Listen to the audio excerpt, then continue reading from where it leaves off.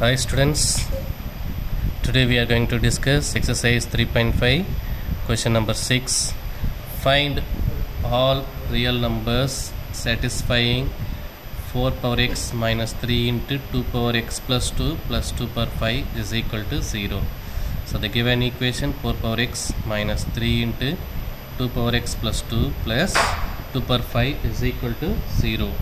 So now 4 power x we can write 2 power x the whole square minus 3 into 2 power x plus 2 we can split.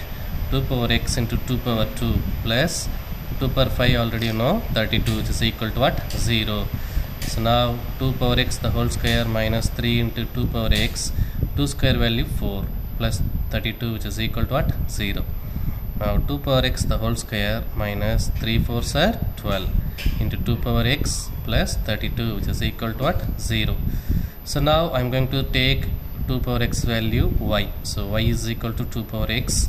So y square minus 12 into y plus 32 which is equal to 0 now we are going to factorize this equation 32 we can split 8 fours are 32 but we, if you add this we'll get minus 12 so we put minus 8 into minus 4 if you add minus 8 minus 4 we'll get minus 12 if you multiply minus 8 into minus 4 we'll get 32 so y square minus 12y 12y we can split minus 8y minus 4y plus 32 which is equal to 0 here I'm going to take y outside.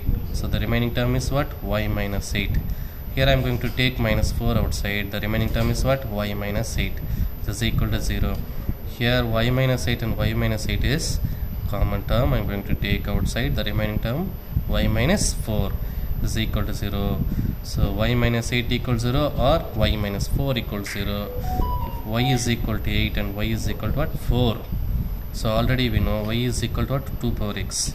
So y equal to 2 power x. I'm going to substitute here. What you'll get?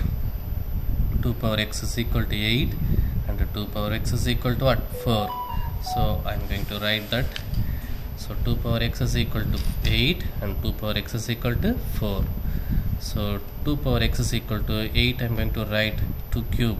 And 2 power x is equal to 4 I'm going to write 2 square.